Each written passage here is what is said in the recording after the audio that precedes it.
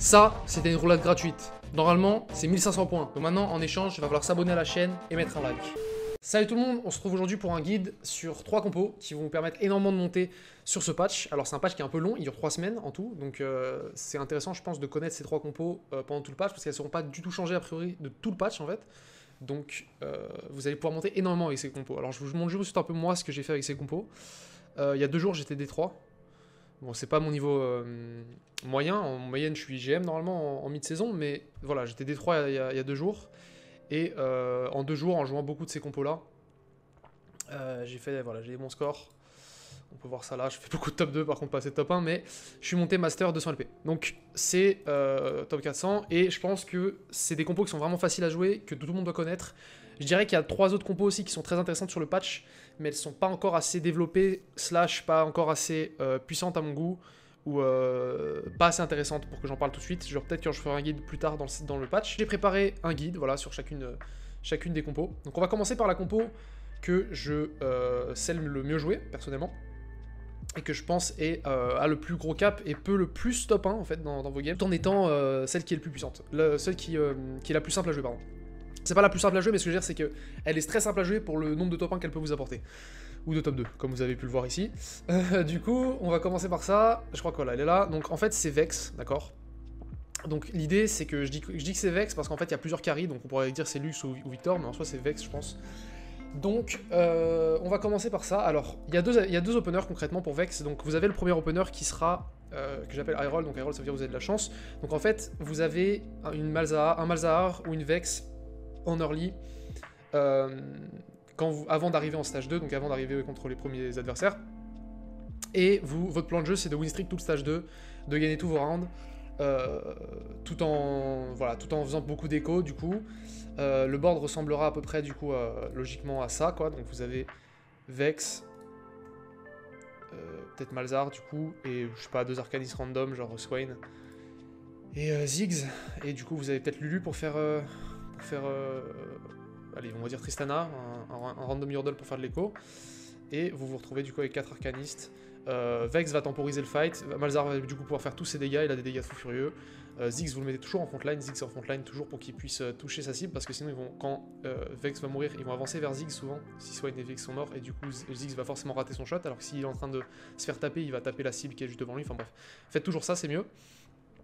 Et la compo finale, du coup, ressemblera à ça. Alors, on va parler un peu aussi du low roll. Donc, si vous êtes en train de low roll, euh, vous n'allez pas jouer ça en early, vous allez euh, jouer soit pas d'unité du tout, soit juste, donc souvent Ziggs, Poppy et un de, un de. Donc euh, ça peut être Tristana encore une fois, ou souvent Lulu, enfin Lulu c'est le mieux que vous pouvez avoir. Donc ça c'est vraiment quand vous n'avez pas d'early mais que vous avez des Yordle qui vous sont proposés, que vous avez des systèmes AP en early, vous pouvez faire ça. Et vous allez avoir du coup Yordle qui va générer des golds. Vous voulez vraiment pas gagner vos rounds, c'est important de perdre tous les rounds. Euh, parce qu'il faut vraiment générer un maximum d'économie pour être sûr de pouvoir jouer votre compo derrière. Parce que si vous le faites le truc à moitié, que vous n'avez pas assez d'écho et que du coup vous n'avez pas assez de gold pour roll efficacement, bah vous allez juste niquer votre game et ça va être impossible pour vous de comeback.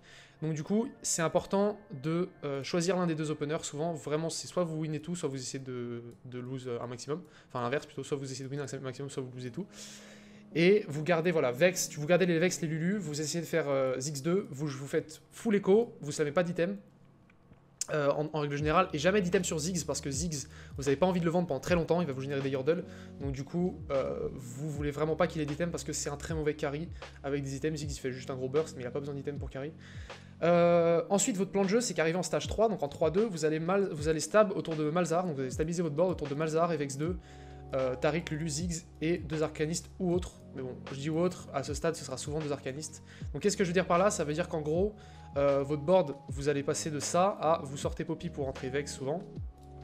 Si vous en avez généré avec euh, les Yordles, vous la gardez toujours, hein, même si ça vous coûte des l'écho, c'est trop fort Vex. vous allez du coup jouer Ziggs toujours ici, Lulu là, et en fait au 6, du coup, quand vous passez 6, vous rentrez Malzahar, vous rentrez Tariq, qui est ici, voilà vous rentrez Tariq, donc vous avez 5 unités, et là vous rentrez juste un arcaniste pour faire 3 arcanistes, donc soit Swain TF ou même, euh, même Lux, hein. vous rentrez un truc, et euh, ça vous fera 4 arcanistes. Et donc ça c'est votre mid-game, le but c'est d'upgrade un maximum vos unités, Donc comme je l'ai mis ici, euh, vous allez stab autour de ça. Le but c'est de win le stage 3. Donc vraiment à partir du 3-2, on fait ça en 3-2. J'ai dit 3-2 voire 3-1 pour le quand vous êtes en reroll. C'est-à-dire que si vous êtes en train de win tous vos rounds, vous pouvez, si vous avez vraiment beaucoup d'écho, le faire en 3-1. Le premier round du stage 3, c'est pas grave. Mais euh, il faut vraiment avoir énormément d'écho pour faire ça parce que ça vous coûtera bah, logiquement euh, de l'écho que vous auriez pu faire si vous aviez juste attendu un round. Donc si vous êtes en train de trop lose, vous, allez, vous pouvez restab au niveau 7, voire au niveau 8. Euh, autour de Lux 2. Donc ça, on en parlera tout à l'heure, vite fait. Enfin, on en parlera pas tout à l'heure, mais Lux 2, en gros, c'est votre carry. On va peut-être en reparler. Et si vous êtes bien dans votre game, vous allez attendre d'avoir vraiment Lux euh, et Victor 2, en fait. Et c'est Victor 2 qui va plus porter les items que vous avez fait en early. Les items, on va en parler juste après. Mais voilà, votre, votre plan de jeu, c'est de vraiment full stab autour de ce board-là. Faut vraiment que ce board-là vous fasse win pratiquement tous vos stage 3. Si vous perdez vos stage 3, c'est pas si grave que ça. Mais au 7, il va falloir vraiment euh, roll pour upgrade toutes les unités. Donc quand je dis stab, c'est vraiment passer genre au moins Malzar et Tariq 2 par exemple, ou Vex et, Malzar 2, euh, Lulu, Malzar, Vex 2, enfin, truc comme ça, genre Swain, Ziggs, Malzar, Lulu 2, ça peut suffire. Et, euh, voilà, en, item, on va en parler juste après, mais c'est aussi important d'avoir des bons items. Donc, euh, attendez un instant, tac. Par exemple, donc on va parler des items là. Le start, votre, premier item, le premier item que vous voulez choper au carrousel, il y a trois items, hein. franchement, il n'y a pas vraiment d'autres. Enfin, vous pouvez faire d'autres starts, mais ce sera moins efficace. En termes de priorité, ce sera d'abord la rod, donc euh, la baguette, la tire, la larme, et la chain, donc euh, l'armor, l'armure. La chain, donc, vous permet de faire Bramble. C'est le meilleur item du patch, parce que Katarina est broken, mais on va en reparler derrière. C'est trop fort, et en plus de ça, ça counter les AD, enfin, surtout que ça proc tellement de fois avec Vex, enfin, c'est trop fort. Sur Vex, c'est trop fort, c'est un item de fou, et c'est fort sur beaucoup de, beaucoup de champions, mais sur Vex principalement. Les rod items, les tier items, euh, ce que je veux dire, c'est par là, c'est qu'en fait, les items que vous pouvez faire avec ça, il y a pratiquement tous les items qui fonctionnent, on en reparle juste en dessous. Mais voilà, si vous êtes en train de win, il va falloir slam agressivement. Et euh, enfin, si vous êtes en train de win streak, il va falloir slam agressivement ces items. Donc, c'est-à-dire qu'il va falloir slam en fait des items qui sont suboptimales, mais qui vous permettent de gagner vos rounds euh, au début de la game. C'est pas grave. Euh, si les items sont pas optimales. Maintenant, du coup, quand je dis les tier items et les rod items, je, donne quelques exemples quand même d'items très intéressants. Je trouve que le statique est très bon. En early, hein, vous allez pas slam ça en stage 5, mais en, début de game, ça peut être très intéressant. Ça vous fait gagner des rounds, ça vous fait gratter des HP. Euh, c'est un bon item sur Malzar, c'est un bon item sur Lulu de, de, temps en temps quand vous êtes obligé de le mettre sur Lulu. Jamais sur Vex, Taric, logiquement. Ziggs, comme on a dit, on n'a pas trop envie qu'il porte d'item. C'est pas très grave si vraiment c'est la seule personne niveau 2 qui. Enfin, la seule personne, le seul champion niveau 2 qui vous permet de, euh, de hold un item actuellement. Bah, Ziggs, pourquoi pas. Mais globalement, vous avez envie de l'avoir sur Mazar, ça fait une tire et de l'attaque speed en plus sur lui pour qu'il casse le plus. Donc c'est meilleur. Euh, vous avez la Hoge qui est un item correct. Pour moi, c'est pas un très très bon item non plus, mais c'est un item qui va vous permettre de gagner plus facilement dans les games aussi. Le blue buff est pas ouf. Euh, vous le faites vraiment que quand le jeu arrête pas de vous donner des tirs. Ça arrive euh, très rarement, mais voilà, c'est un, item correct que vous pouvez faire parce que ça vous permet de le, poser sur Lux. Maintenant, Lux, elle a pas envie d'avoir de la mana, comme on en reparle en dessous.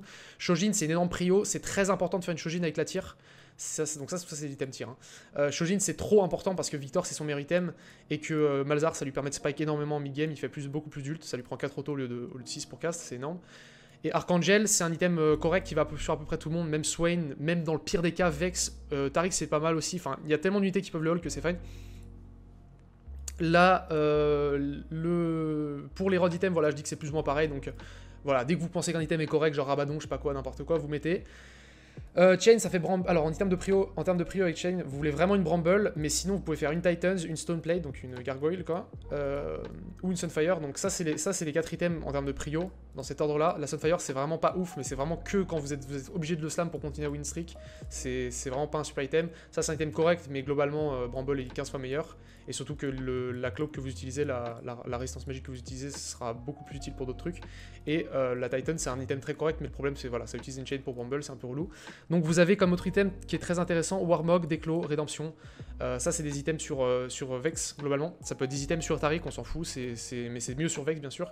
Donc Warmog, Dragonclaw et euh, Rédemption, c'est des très bons items. Dragonclaw, grosse prio. vraiment, je pense que Dragonclaw, Bramble, si vous avez ce combo-là, vous pouvez gagner les match-up Katarina, c'est très intéressant.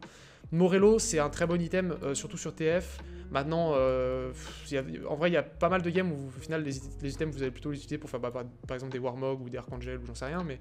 Euh, globalement, voilà, c'est ça que vous voulez faire avec vos items en early. Tariq Paul des items, comme je l'ai dit. Euh, on va remontrer ça. Donc, Séraphine, donc ça, c'est votre board late game. On va reparler dans deux secondes. Ça, c'est votre board late game. Euh, peut hold. Séraphine, vous la rentrez, pardon, si, vous avez un bon, un bon socialite, on en parle juste derrière. Et peut-être que vous pouvez rentrer Oriana aussi à la place de 6 unités. La compo finale est assez flexible au final, vous allez comprendre. Euh, comme je dis à la fin, vous avez vraiment envie d'avoir Shojin sur Victor. Euh, puis une des bons items aussi sur lui, c'est des items AP slash mana. Donc les deux sont bien. Donc par exemple statique, euh, voilà, statique, Hoge, Archangel. ou un GA. Un GA c'est bien aussi contre les assassins. Ça vous permet même de front le Victor si vous avez envie qu'il casse vite. Lux, faut vraiment mettre que des dégâts. En priorité, c'est des dégâts sur Lux parce que dans tous les cas, elle va avoir assez de mana pour générer elle va savoir c'est de mana si elle fait des kills. Si vous lui tenez des dégâts, elle va tuer plus. Si elle tue plus, elle génère de la mana. C'est logique. Donc en fait, Lux, vous voulez vraiment lui mettre GS, euh, crit des câbles. Donc ça, vous voulez lui mettre GS, donc Giant Slayer, hein, euh, IE, ou euh, IE Jewel Gauntlet, des trucs comme ça. Des caps, c'est des rabadons, quoi. C'est des caps, c'est des caps. Euh, que système full, full euh, aggro, le blue buff c'est plus intéressant quand vous jouez autour d'académie, là c'est pas le cas. En late, 4 arcanis si vous manquez d'AP, sinon 2 ça peut marcher. Donc par exemple, si vous avez, on peut dire, je sais pas moi, vous avez juste... Euh, attendez, c'est qui Mais là, il y a que... Attends, comment il y a 4 Arcanis là? Je suis con ou Ok, bizarre. Euh, imaginons que vous jouez, euh, voilà, vous jouez Victor comme ça, et vous avez envie du coup de rentrer, je sais pas, Oriana et quelque chose. Donc, par exemple, vous pouvez rentrer Oriana et, une autre connerie, genre, qu'est-ce qui peut fonctionner ici? Un, gros tank, j'en sais rien. même un Mundo ou un Jace, tu vois, j'en sais rien. Euh, eh ben, il y a peut-être meilleur que ça, mais là j'ai pas trop d'idées en tête. Vous pouvez, si lui il a un Rabadon, en fait. Rabadon, ça vous permet d'éviter de jouer Arcanis. C'est pas mal parce que du coup vous avez plus de temporisation pour qu'il fasse plus, euh, de fois euh, deux castes le Victor, et avec Rabadon il fera des kills dans tous les cas. Même Archangel dans ce cas-là est bien. Euh, sinon voilà, comme j'ai dit, 2 est fine. C'est important, enfin vous pouvez fast 9 avec cette compo, donc vous pouvez aller au niveau 9 très vite. si vous êtes vraiment bien setup pour stage 3, donc si vous avez pratiquement tout trouvé, comme j'ai dit. Euh, avec des bons items. Yumijana broken, euh, Yumijana Tarik c'est vraiment broken, j'ai mis Tarik entre parenthèses parce qu'il est moins important quand même, mais Yumijana c'est un combo que vous voulez dans pratiquement toutes vos compos ATM, c'est vraiment trop trop trop fort. Euh, Yumi toujours en backline, si vous le mettez là, en fait si vous mettez un X en haut à droite de, l'unité, ça va sur Victor. Donc là ça, va sur Victor, si je le mets là ça va sur Arena, ainsi de suite. Donc là, ça c'est un combo qui est très important dans la compo, ça fait Scholar, c'est super fort. Et plein de heal, plein de shield, tout ce que vous voulez. Grosse value sur le Socialite X, donc voilà, si le Socialite X, euh, donc le truc Socialite, là, le, truc qui donne des, buffs, il est devant, vous voulez le mettre sur Vex toujours.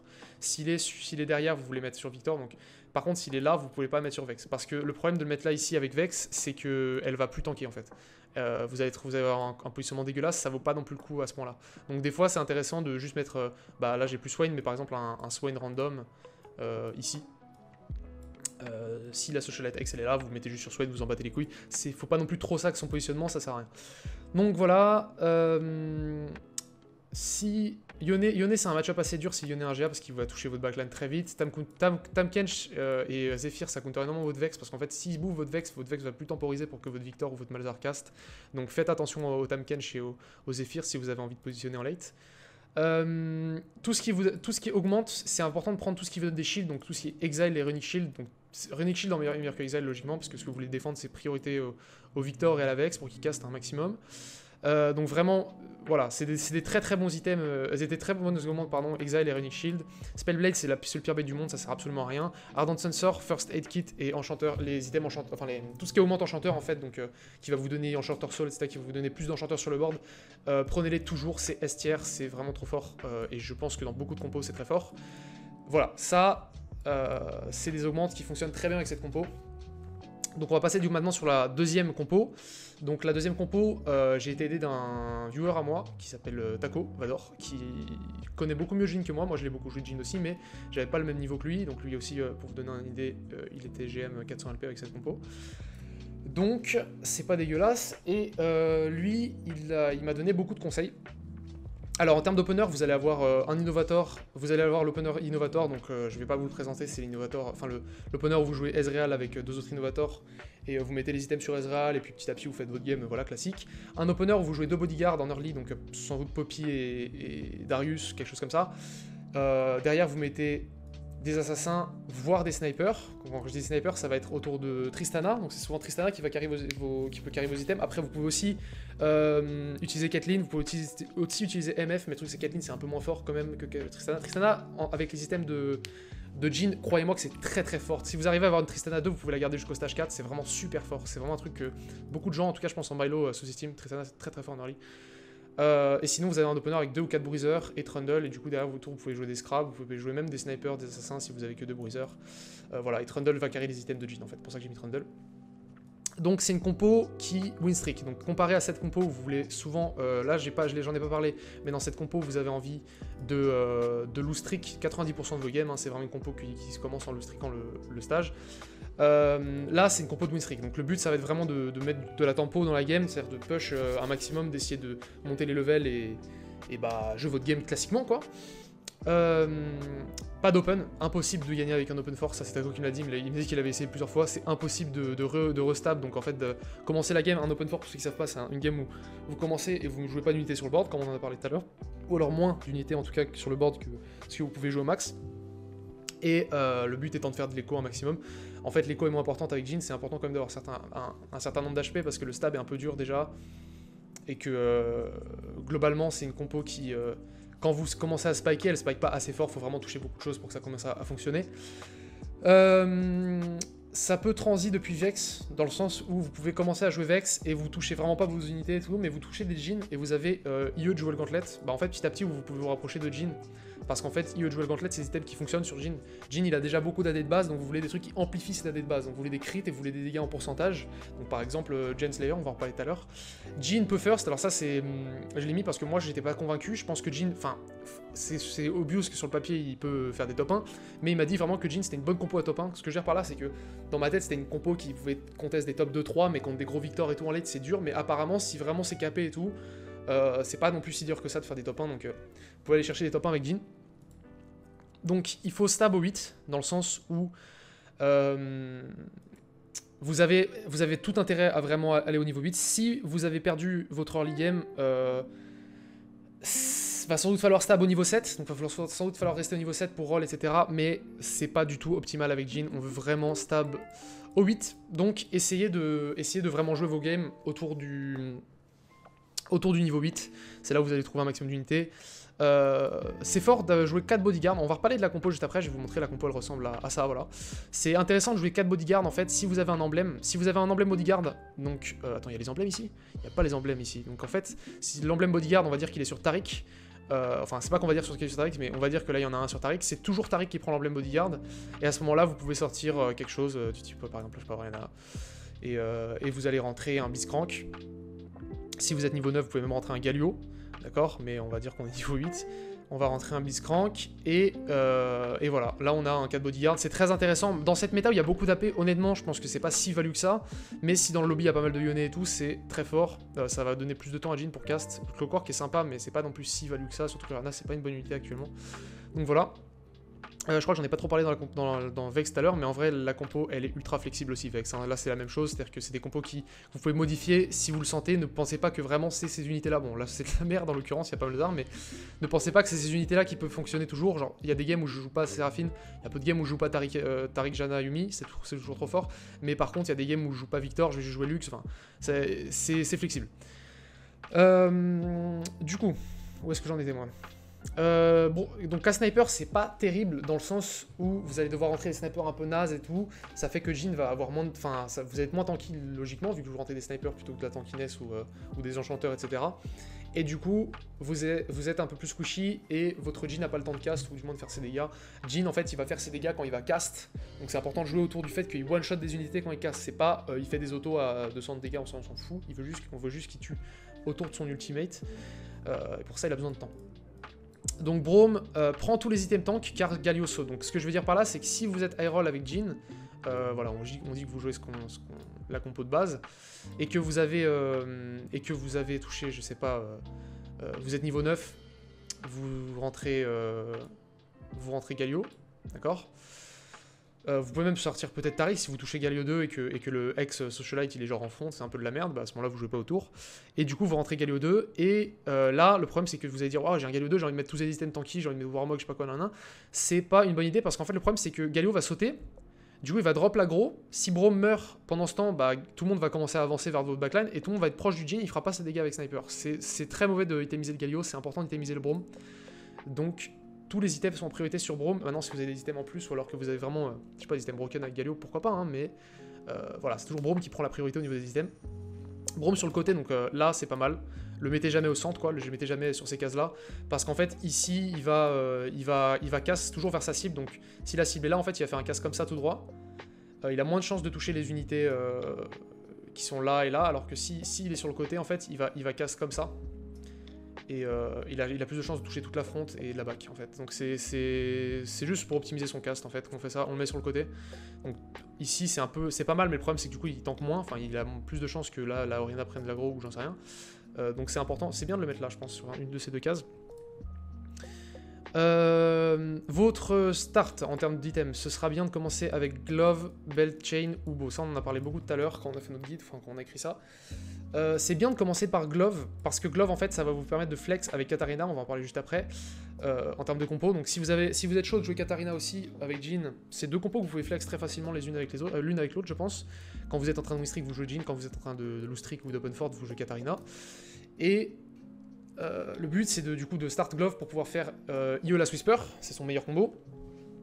Et euh, en deuxième, on prend Belt Chain, donc c'est la, la, ceinture et, et l'armor. C'est parce que les items euh, tanky sont très importants aussi sur Jean. Alors vous n'allez pas en prendre trop, parce que si vous, si vous prenez trop d'items tanky comme ça sur le carrousel, vous n'allez pas réussir à finir vos items, mais ça peut être très important, de, très intéressant en tout cas de faire d'aller chercher ça en premier item, parce que faire une Warmog, faire une une Bramble, c'est des items qui vous permettent de win votre early game beaucoup plus facilement. Et en plus de ça, bah, c'est des items qui ont une grosse prio parce que Brome c'est important qu'ils soient itemisés je pense.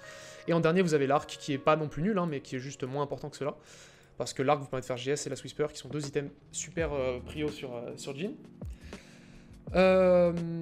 et vous avez du coup, la prio des items, alors comme on l'a dit, la Swisper c'est son meilleur item. C'est important qu'il se fasse pas euh, trop cuck par la, frontline, par des time des vex, des machins qui ont des brambles. En deuxième, IE over GS. Pourquoi IE over GS alors que GS en vrai est pas si mauvais que ça hein. Mais bon, IE ça paraît logique que déjà c'est plus fort, mais c'est surtout le fait que euh, IE est euh, plus constant en fait. Je crois que je l'ai marqué quelque part, voilà. IE plus constant, mais 2GS a un, bon potentiel. Alors déjà, Runan jamais de la vie, c'est de la merde. Euh, on s'en fout des petites autos, faut vraiment qu'il casse et qu'il tue avec son casque, comme on a dit. Donc il traverse tout le monde avec son casque, donc on s'en fout qu'il tape une autre cible. Euh, L'IE, donc, elle est beaucoup plus constante au niveau des dégâts, mais 2GS, c'est un bon potentiel, surtout quand vous avez contre beaucoup de mecs qui ont des unités niveau 3, etc. C'est très intéressant. Euh, de Giant Slayer plus la Whisper, c'est un combo que moi je me suis pris déjà 2-3 fois en ladder et je me fais baiser à chaque fois que les mecs jouent ça. Euh, on m'a parlé de Shojin aussi. Donc apparemment c'est pas un même mais ça existe. Apparemment euh, euh, Shojin sur, sur Jin serait fort. Donc si vous êtes obligé de le slam, faites-le. Ça rejoint un peu ce qu'on disait sur Vex tout à l'heure. Peut-être que, Shojin, IE Jewel Gauntlet c'est broken sur lui, on sait pas. Mais voilà, Shojin, c'est correct. Si vous devez le slam, faites-le sur lui. C'est fine. Stand by c'est l'augmente qui va faire que les unités derrière vos bodyguards, les deux unités derrière votre bodyguard vont gagner de la tankiness. Si vous avez 4 bodyguards, c'est intéressant parce que du coup vous pouvez voilà, si vous avez Tariq, euh, Tariq euh, Léona machin là, hop, si vous avez Tariq, Blitzcrank, Léona, qui est où Léona Léona là, hop, bah, vous pouvez garder Brome Léona devant, et vous mettez Tariq Blitzcrank par exemple ici, peut-être plutôt comme ça, et comme ça votre backline tank. Donc ça peut être intéressant de faire ça. Maintenant, voilà, c'est à tester, mais je pense que Stambiami peut être vraiment cool. Après, le problème c'est que euh, bah comme, comme on l'a dit, là, ça change un peu de votre positionnement. Et donc ça, c'est au niveau des match-ups. Vous allez sans doute gagner contre God, mais bon, c'est pas terrible actuellement God, on n'en parlera pas ici. Ça peut gagner contre les assassins, c'est pas un mauvais match-up. Si vous êtes plutôt bien, s'ils sont pas trop non plus câbles, c'est-à-dire s'ils ont pas toutes leurs unités full upgrade euh, à 100% avec les parfaits items partout, et que vous êtes bien positionné, c'est-à-dire que vous mettez votre jean euh, devant, et, et que voilà, vous, vous, faites en sorte que, que, que Jean soit loin des assassins, ça peut le faire. Euh, vous, pouvez win, vous win c'est pas un mauvais match-up du tout, parce que vous avez bodyguard et parce que euh, en fait vous pouvez one-shot le Yone avant qu'il fasse ses dégâts. Yone il a un petit stun quand il, quand il, quand il ult, il se stun lui-même, donc euh, ça peut laisser le temps de le tuer. si, vous, si vous avez une trap claw et que vous êtes bien setup, d'expérience, et ça c'est par mon expérience personnelle, j'ai beaucoup joué cette compo là, Vex, et ben en fait vous pouvez gagner contre Vex. Il faut vraiment avoir de faire en sorte qu'avec 2-3 ults de luxe, voire un ult de Victor, le Jin ne meurt pas. Donc avec des trap claw et des enchanteurs ça se fait. Euh, et, en soi, vous pouvez carrément tanker les, vous pouvez carrément tanker du coup les dégâts et le Jin va tuer tout le monde en 3 castes, genre en 3 autos de, son casse, c'est très très fort. Donc ça a un gros potentiel de faire ça. 4 Clockwork, c'est pas ouf si vous n'avez pas la soul. Euh, Broken Stopwatch, c'est très fort si votre jean est bien setup. Donc c'est l'augmente, euh, c'est l'augmente qui fait que le temps s'arrête pendant 5 secondes au milieu du fight. Sniper Emblem et Heart, c'est bien pour, pour Oriana. Mais vous n'allez pas jouer en cas sniper, vous allez juste jouer deux snipers avec ça. Vous mettez euh, l'emblème sur Oriana. Et euh, si vous avez le Heart, donc, euh, qui fait qu'il y a un sniper en plus sur votre board sans vraiment en jouer un de plus, et ben vous pouvez juste jouer Jean sans sniper à côté, c'est pas mal. Ensuite, on passe sur la dernière compo du patch. Enfin, il y en a d'autres, mais on va, on pas sur la dernière compo dont on va parler aujourd'hui. C'est la compo Katarina. Donc celle-là, c'est la plus facile, elle est très simple. Votre opener, vous, j'ai mis Camille, en vrai il y a d'autres openers possibles, mais votre, le but c'est de jouer une Camille. alors je vais vous donner un exemple, hop. Le but c'est de jouer une Camille, d'accord Pendant tout votre PVE. Une seule Camille niveau 1 si elle est là. Et que vous lui mettez un composant, il me semble, il faut lui mettre un composant, ce sera mieux. Euh, elle va gagner le fight. Donc dans tous les cas, les 3 PVE, elle peut les, solo, les 3 premiers PVE. Donc vous la mettez là, et en fait elle va solo le fight. Et comme ça, ça vous permet, si on vous donne plein de gold, ça peut arriver qu'on vous donne beaucoup plus de gold que d'habitude en, early, de faire 10 gold pendant le PVE. Parce que vous ne voulez pas faire un seul, vous ne pouvez pas garder une seule unité sur votre board, hein, quand vous jouez, sur votre bench ou votre board, quand vous jouez Katarina, c'est euh, prohibé. Vous jouez pour avoir 20 gold au, au 2-2, donc en deuxième stage, en deuxième euh, round du stage 2. À partir du 2-3, 2-4, enfin 2-3, 2-5, vous pouvez commencer à jouer des yordles euh, quand vous êtes au-dessus de 20 d'écho ou, pas, mais bon, globalement vous pouvez commencer à jouer des yordles si à un moment vous sentez que ça le fait niveau écho, pour générer des yordles et les vendre. Euh, mais il faut faire attention à ne pas gagner un round. Si vous, gagnez un round et que vous sortez de votre loose streak, ça va être très dur pour vous de, euh, de jouer kata. Alors ça, ça s'applique pas en très bas elo, je tiens, je tiens à le préciser. En silver gold, ça s'appliquera pas. Parce que vaut mieux gagner, je pense, en silver gold. Les mecs sont pas assez forts en face pour que vous ayez besoin d'open force. Mais ça, à partir du plat, de diamant, bon, c'est plus à partir du diamant master, mais à partir du plat de diamant, je pense que ça peut être intéressant d'open force vraiment avec Katarina pour forcer la compo. Euh, donc, au level 5, euh, enfin, quand vous arrivez au Krugs, par contre, le but c'est de lose to, stage 2, d'arriver avec euh, genre 50 gold au Krugs. Et euh, level 5, vous voulez passer par le level 5 au Krugs pour pouvoir gagner quand même les Krugs et vous rentrez des unités qui peuvent gagner. Vous même slam des items qui vous permettent de gagner le round, euh, tant que c'est des items qui sont corrects avec, votre compo bien sûr. Et vous allez win les Krugs, euh, c'est important quand même de win les Krugs à un moment. Maintenant, donc euh, vous voulez toujours viser le best in slot parce que du coup comme vous avez perdu énormément d'HP pendant le stage 2 vous allez avoir beaucoup plus de priorité au carrousel et vous pouvez viser le best in slot donc les meilleurs items de kata les meilleurs items de kata c'est IE Spark ça c'est super important d'accord? Spark c'est parce qu'il y a beaucoup de Dragon Claw et de et de, euh, d'enchanteurs dans la méta donc c'est important de voir Shred se débarrasser de la Magic Resist en face euh, si vous avez pas IE vous jouez pas Katarina c'est aussi simple que ça et Hosh Gunblade, c'est euh, le troisième item, aussi le meilleur. Alors, sachant que Gunblade est meilleur, mais souvent, vous allez, comme vous allez commencer gant, vous allez avoir un autre gant dans la game, et du coup, vous aurez besoin de faire une Hosh. Mais c'est pas très grave. En soi, Gunblade est meilleur, par contre. Faut vraiment pas oublier ça. Un Gunblade est souvent meilleur, enfin, pratiquement tout le temps meilleur, en fait, que Hosh. Si vous avez deux Célestials, enfin, Célestial niveau 2, donc Célestial Gold ou, voire Prismatique, euh, ou alors vous avez Srilevant, donc euh, le truc qui heal quand vous faites un kill, vous pouvez aller sur un, Rabadon, un Decap, ou un item offensif genre Giant Slayer, enfin je sais pas, un item offensif sur euh, votre Katarina. À la place de la Gunblade, c'est correct. Vous voulez être niveau 6 au 3-2, donc vous comptez à perdre sur le 3-1. Au 3-2, vous êtes niveau 6, vous allez roll et stab. Donc ça veut dire que vous allez euh, vraiment stabiliser votre board au niveau 6. Faut pas déconner non plus. Il y a un moment où il faut toucher Kata 2, Talon 2, euh, sans doute, enfin Blitzcrank 2 c'est moins important, mais au moins Twitch 2, des trucs comme ça. Euh, peut-être une Léona au moins. Voilà, le but c'est de stabiliser, donc j'ai pas montré la compo, mais c'est ça la compo. C'est juste, euh, j'ai juste montré niveau 6 parce que le niveau 7, 8, si vous y arrivez, bah, vous jouez un peu ce que vous voulez, sur des tariques, des trucs. Mais voilà, ça c'est votre compo de base. Et le but, ça va être du coup voilà, de, stab au, au 3-2, commencer à, win des rounds.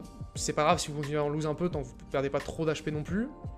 Euh, mais on veut grid l'écho, c'est-à-dire qu'on veut pas non plus upgrade tout le board au niveau, au niveau 6. hein. Pas, si, vous si vous descendez à 0 gold, vous aurez pas l'écho pour trouver Katarina 3, c'est aussi simple que ça. Euh, donc voilà, juste quelques unités level 2, level 2, ça suffira. Donc la compo, comme on l'a dit, c'est Leona, ça peut être remplacé par Graves Garen, Kata, Echo Talon Shaco. Alors Talon 1 est meilleur que Twitch 2, qui est meilleur que Shaco 1, faut comprendre, d'accord Shaco 2 est meilleur que Twitch 2, ça vaut pas. Non, ça vaut, ça vaut quand même plus que Talon 1, donc Shaco 2 monte plus que ça. Mais en soi, c'est ça les 3 assassins que vous voulez avoir. Euh, Blitz toujours opposé à Talon, pourquoi? Parce qu'en fait, Talon va jump sur une unité, l'attaque, donc lui mettre une auto pour commencer que l'unité commence à bleed. Après ça, Blitz va grab l'unité, elle va se rapprocher là, l'unité elle va arriver là, genre, et elle va mourir euh, pendant que Blitz est en train de la stun parce que lui il la, il bleed, et lui il va du coup entre temps swap de, ta- de target et taper une autre cible. Bref, pour faire simple, toujours Talon opposé à Blitz pour que ça marche, d'accord? Et pas de Zephyr, sinon ça marche pas. Enfin, mettez pas de, Zephyr sur Blitzcrank. Vous pouvez mettre un Zephyr, sur Blitzcrank, mais le mettez pas là à ce moment-là, mettez-le le genre là. Bref. Euh, donc Blitz opposé à Talon. Echo et Kat au milieu parce que vous voulez qu'Echo proc euh, son nul sur 4 sur un max de monde et que Kata euh, attaque les mêmes cibles classiquement et que du coup ça fasse des kills. les spat items c'est un gros bait, c'est de la merde. Oubliez tout ce qui est protector spat, oubliez tout ce qui est assassin spat, ça sert à rien. 4 assassins ça suffit largement en termes de dégâts. Euh, vous voyez bien que j'ai pas mis les match-up ce, sur cette compo, c'est pour ça qu'elle est beaucoup plus simple que les autres aussi en partie. C'est parce qu'en fait, on s'en bat les couilles des match-up, vous gagnez tous les match-up avec cette compo. C'est la compo la plus débile du patch. Alors, c'est pas la plus forte en late game, vous pouvez, trouver des, trucs plus forts, mais c'est la plus débile. C'est trop facile à jouer, c'est trop con. Du coup, voilà, c'est trop con. Euh, meilleure compo du patch, plus ou moins, dans un sens, du coup. Echo est un peu dur à choper parce qu'il coûte 3, euh, donc faites gaffe à l'écho, commencez pas à niquer toute votre écho pour le déco, c'est marrant ça. c'est drôle. Euh, non, commencez pas à niquer toute votre économie pour regarder des 15 échos sur votre bench si vous êtes en train de perdre toutes vos games. Euh, ça vaut pas le coup. Donc Katarina a vraiment une grosse prio au niveau déco, tu vois. En vrai, je pourrais même faire ça. Voilà. C'est-à-dire que ça, c'est le reroll. Donc, c'est-à-dire que vous voulez en priorité reroll Kata 3, ensuite c'est Echo 3, ensuite c'est Talon, Blitz, euh, Talon et Blitz qui sont au niveau 3, Shaco 3, Léona 3. Donc, ça, c'est votre priorité au niveau de ce que vous voulez rechercher en termes d'upgrade niveau 3 sur vos unités. Là, j'ai mis quelques, juste pour finir ce guide en une minute, euh, quelques bonnes augmentes. Euh, globalement dans la méta, si vous voulez même pas jouer ces compos là, ça peut être même intéressant dans, tous les cas. Ce que je veux dire, c'est que ces, trucs là sont très intéressants. C'est une, une, méta où tout le monde joue slow, tout le monde veut arriver à toucher sa compo, donc son kata 3, machin, etc. Donc le stage 2, tout le monde le joue tranquillement, slow, il n'y a pas besoin de prendre des trucs ultra offensifs. Euh, donc c'est très intéressant d'aller chercher métabolique, donc c'est le truc qui vous donne 2 HP par round, parce que du coup, bah, comme vous jouez slow, vous vous, laissez mourir un petit peu et tout, bah, métabolique ça va vous rendre des HP, c'est très intéressant. Tout ce qui est euh, buff enchanteur, sachant que tous les enchanteurs sont complètement broken, Tariq, Tariq euh, Jana c'est broken, c'est tout, ce qui est, tout ce qui est lié aux enchanteurs, niveau augmente c'est broken. Rich Ketricher c'est très très fort, ce sera toujours très très fort, c'est trop fort comme augmente, ça vous donne trop de gold dans l'early. Calculated loss, bah, vu qu'on veut perdre, c'est intéressant, c'est le truc qui vous donne 2 gold à chaque fois que vous perdez et que vous donne un roll aussi. Euh, tout ce qui est augmente assassin, si vous commencez à en toucher dès le 1-4, donc dès la première augmente, vous avez une augmente assassin, vous pouvez vous diriger vers kata si vous avez commencé euh, avec un item, euh, enfin qu'on vous donne des items corrects pour kata. Euh, et je mets toujours Junkard parce que comme c'est justement comme c'est un peu slow comme méta, bah en fait ça, ça vous permettre de. En fait Junkard ça vous donne 3, tous les 3 rounds ça vous donne un composant si vous jouez 2 scraps. et Junkard du coup c'est un peu c'est une, une, synergie qui est pas très forte si vous la prenez en premier au début de la game parce que du coup bah ça vous donne rien du tout. Euh, et au bout d'un moment, ça vous donne des items. Mais du coup, comme tout le monde joue tranquillement au début de la game, ça vous permet de tranquillement faire vos items. C'est très intéressant. Merci à tous d'avoir suivi ce, guide. Hop. Euh, c'était un peu plus long que ce que je pensais. Je pensais pouvoir faire tout en 20 minutes, mais j'ai fait tout en 30 minutes à peu près. Euh, si vous avez kiffé, n'hésitez pas à vous abonner sur YouTube, à aller follow mon Twitch pour voir comment je joue ces compos et comment je vais passer en avec ces compos ou sans d'ailleurs, mais voilà. Euh, merci d'avoir suivi, suivi le guide, ça fait plaisir, ça fait super plaisir. Et moi je vous dis à plus, salut tout le monde.